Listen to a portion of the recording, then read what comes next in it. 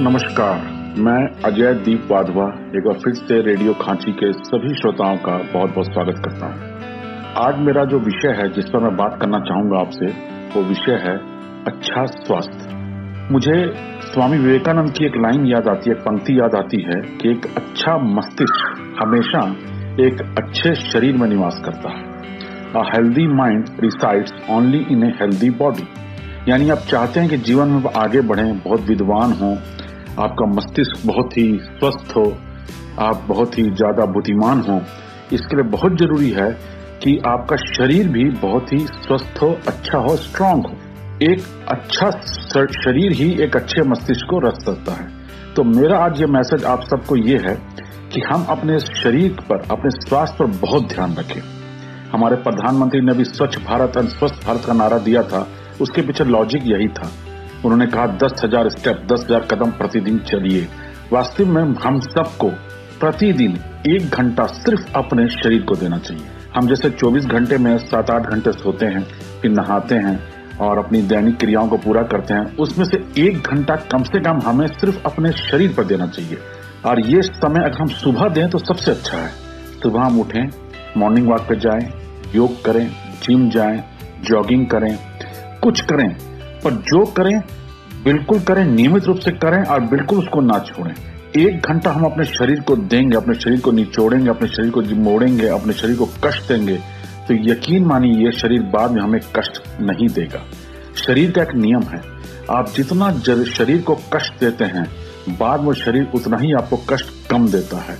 जितना आप शरीर को आराम देते हैं, हम सोचते हैं कि चलो हम देर तक सोएँ, देर से उठें, आज जो मन हो वो खा लें आराम करते रहें, दिन में छुट्टी का दिन है दिन भर सोते रहें, उठने की क्या ज़रूरत है?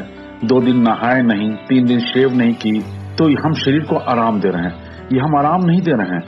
ये शरीर बाद में जाकर बहुत हमें कष्ट देने वाला है। हमारी आयु जब तक 30-35 साल तक की है, तब तक तो ठीक है।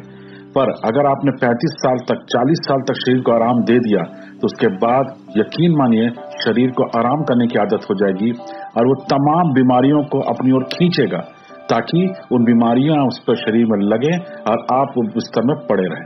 पर अगर आप शरीर में कुछ जितना शुरू में कष्ट देंगे, आप दौड़ेंगे, योग करेंगे, आप जॉगिंग करेंगे, जिम जाएँगे, जितना शरीर को कष्ट देंगे, बाद में शरीर उतना ही मज़बूत होगा और 40 साल की आयु के बाद वो शरीर आपका उतने ही दिन आपके मजबूती से टिका रहेगा और अपनी और बीमारियों को नहीं खींचेगा।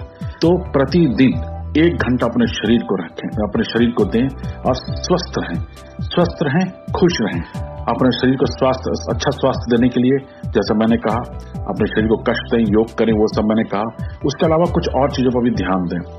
आजकल जैसे कोरोना महामारी में योग का वो इम्पोर्टेंस योग का महत्व बहुत बढ़ गया है। मैं तो अभी कोरोना हॉस्पिटल में ही पोस्टेड हूँ तो हमारे डॉक्टर पेशेंट्स को बताते हैं कि आप अगर कोरोना से ग्रसित हो गए हैं तो दिन और रात, शाम को दो बार कम से कम अलोम विलोम करिए, इससे आपके लंग्स मज़बूत होंगे। आप कुछ योग करिए, ओम का मंत्राचार, ज़ोर से ओम का उच्चारण करिए, इससे आपके लंग्स मज़बूत होंगे।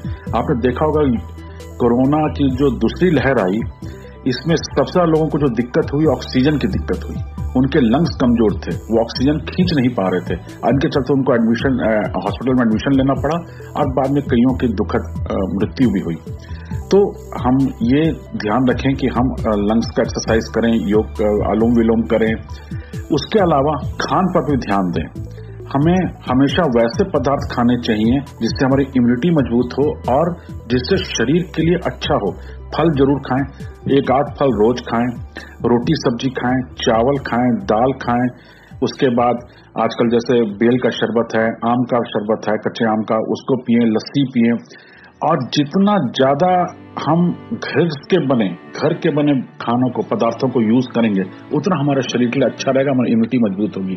जितना हम बाहर का खाना खाएँगे पिज्जा हो गया या फिर और भी इस प्रकार की जो चीज़ें हो गई, उन्हें हम कम से कम प्रयोग करें। मेरे विचार से, क्योंकि आप बहुत, आप में से बहुत यंग बच्चे हैं तो आप लोग को मन करता होगा बाहर का पिज्जा खाएँ या बाहर का हम कुछ भी खाएँ चिकन वगैरह खाएँ।